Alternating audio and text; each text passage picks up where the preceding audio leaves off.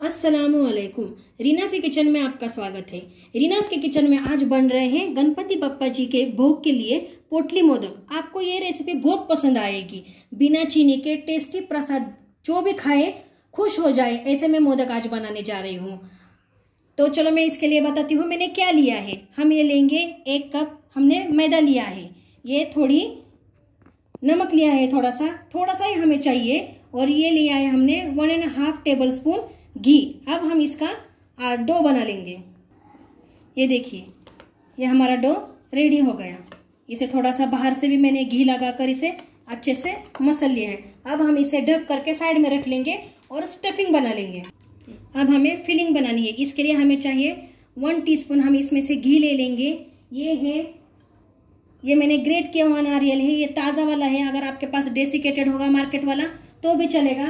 ये मैंने लिया है हाफ़ कप लिया है। ये है गुड़ है इसको मैंने छोटे छोटे पीसेस में कट किया है। तो ये है चार चार, पाँच टेबल स्पून आप इसे ले सकते हो। ये ड्राई फ्रूट्स है, ये पूरे मिक्स है। अगर आपके पास मिक्स नहीं होंगे तो आप क्या कर लेना, बादाम 10 से 12 ले लेना, उसे छोटे छोटे पीसेस में कट कर लेना चॉप कर लेना उसे। और काजू 10-12 ले लेना, उसे भी चॉप कर लेना।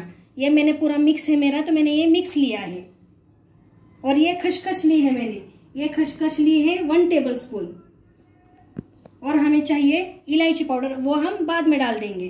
अब मैंने यहाँ पे गैस पे कढ़ाई रखी है, गैस मैंने ऑन किया है। अब हम इसके अंदर वन टीस्पून घी डाल देंगे।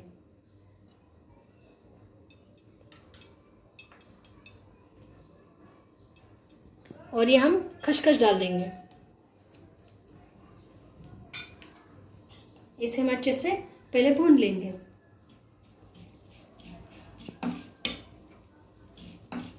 गैस को हमें ज़्यादा हाई नहीं रखना है, मीडियम लो रखना है।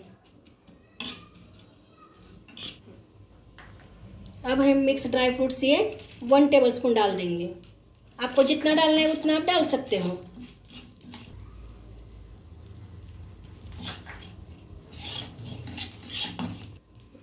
अब हम ये नारियल डाल देंगे।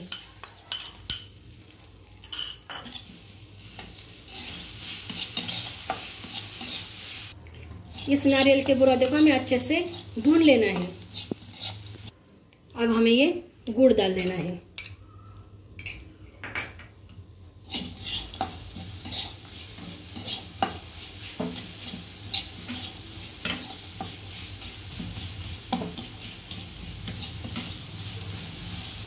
अब हमें गैस बंद कर देना है और इसे कंटिन्यू हिलाते रहना है। अब हमें इसके अंदर, इसे मैंने साइड में ले लिया है। अब हमें इसके अंदर वन फोर्थ टी स्पून इलायची पाउडर डाल देनी है। और ये मैंने जायफल लिया है। इसे अब हम थोड़ा वेट करके डाल देंगे। थोड़ा सा ही डालना है। इससे अच्छी खुशबू आती है और टेस्ट भी अच्छा आता है। ज़्यादा मत डालना। इसे हमें अच्छे से मिक्स करना है। देखिए, ये है हमारे पोटली का खजाना। इसे हम खजाना भी बोल सकते हैं, क्योंकि इसके अंदर नारियल का बुरादा है, ड्राई फ्रूट्स है, गुड़ है। तो ये क्या है? एक खजाना ही है। तो ये हमारा हो गया पोटली का खजाना। अब हम पोटली बना लेते हैं। अब मैंने आटा ले लिया। अब हम इसके छोटे छोटे बॉल्स बना लेंगे। ये देखिए। आपको जितने साइज़ के करने हैं, उतने साइज़ के आप इसे कर सकते हो। अब हम पूरे बना के लेते हैं। ये देखिए, ये हमारे बन गए। अब उसमें से मैं एक ले लेती हूँ और इसे मैं ढक करके रख देती हूँ। और इसे थोड़ा से सूखे आटे में हम डाल लेंगे और इसकी एक, इसे बेल लेंगे।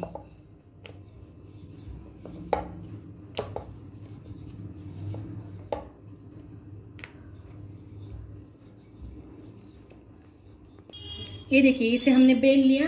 अब बीच में हम ये हमारी फिलिंग रख देंगे। ये हमारा खजाना है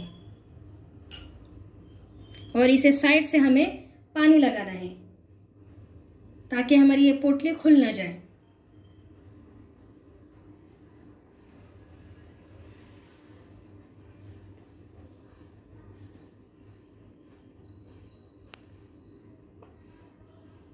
अब हमें ये थोड़ा ऐसा करना है।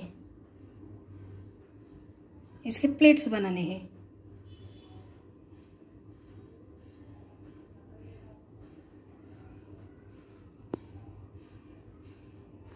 ये देखिए, इसे हमने किया है इसे, अब हमें इसे बीच से दबाना है। मतलब ये पूरा बीच से पैक हो जाता है। ये हमारा निकलेगा नहीं। इसलिए हमें पानी लगाना था। ये देखिए। हो गया ना ये पोटली? इसे अच्छे से हम पैक कर लेंगे। ये देखिए। इसे हम साइड में रख लेते हैं। और एक हमने ले लिया। इसे भी हम बेल लेंगे।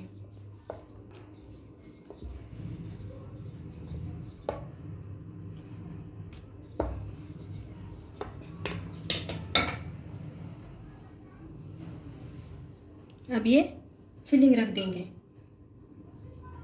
और साइड से पानी लगा देंगे।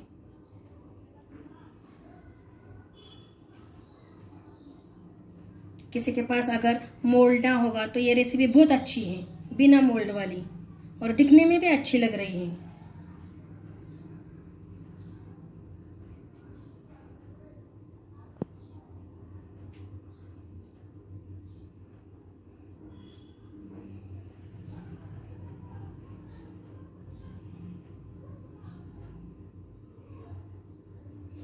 जितनी आपको इसके अंदर स्टफिंग डालनी होगी, उतनी आप डाल सकते हो। ये देखिए। अब मैं इसके अंदर जितने हैं, उतने पूरे बना लेती हूँ। ये देखें, बन गए हमारे मोदक। अब हम इसे फ्राई कर लेंगे। ये दस से, उतने आटे में दस से ग्यारह बन जाते हैं। ये देखिए कैसे लग रहे हैं। लग रहे हैं ना बराबर पोटली की जैसे। अब हम इसे फ्राई कर लेंगे। तो अब हम इसे फ्राई कर लेंगे। मैंने यहाँ पे ऑयल गरम करने के लिए रखा है। अब हम एक पोटली उठा लेंगे और इसके अंदर डाल देंगे।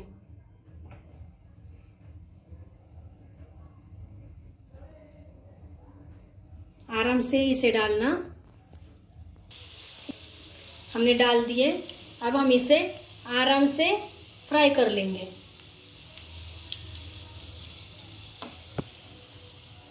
ये देखिए।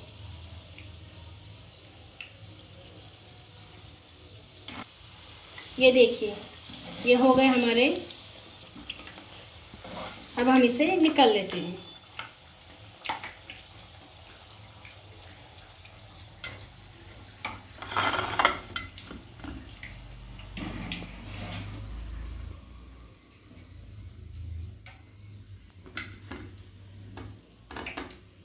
बचे हुए भी हम इसे फ्राई कर लेते हैं।